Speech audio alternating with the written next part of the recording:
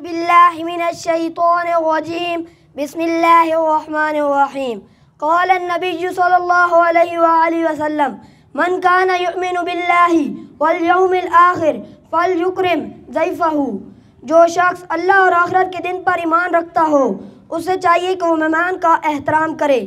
یعنی اس حدیث مبارکہ میں بتایا گیا ہے، جب مہمان آئے تو اس کا خندہ پیشانی سے استقبال کیا جائے۔ اسے ممکن حد تک آرام و سکون پہنچایا جائے۔ اسے اپنی استطاعت کے مطابق بہترین کھانا پیش کیا جائے۔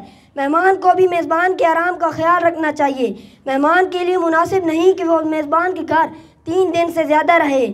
پیارے دوستوں، نبی کریم صلی اللہ علیہ وآلہ وسلم کی حیات مبارکہ میں مہمان نوازی کی بہت اہمیت تھی اور آپ صلی اللہ علیہ وآلہ وسلم صحابہ اکرام رضی اللہ عنہ کو بھی مہمان نوازی کی تعلیم دیتے۔ ایک دفعہ بھوکا شخص آپ صلی اللہ علیہ وآلہ وسلم کی خدمت میں حاضر ہوا۔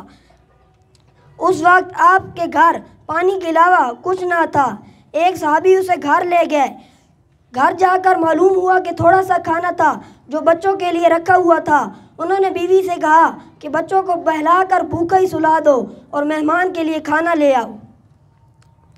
جب کھانا شروع ہوا، جب کھانا شروع ہو تو چراغ بجھا دینا تاکہ مہمان سمجھے کہ ہم بھی اس کے ساتھ کھانے میں شریک ہیں۔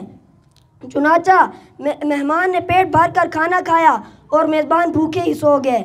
اگلے دن نبی کریم صلی اللہ علیہ وآلہ وسلم نے صحابہ اکرام رضی اللہ تعالیٰ عنہ سے فرمایا کہ اللہ تعالیٰ کو تمہاری مہمان نوازی بہت پسند آئی۔ بے شک سچ فرمایا اللہ تعالیٰ کے رسول نے۔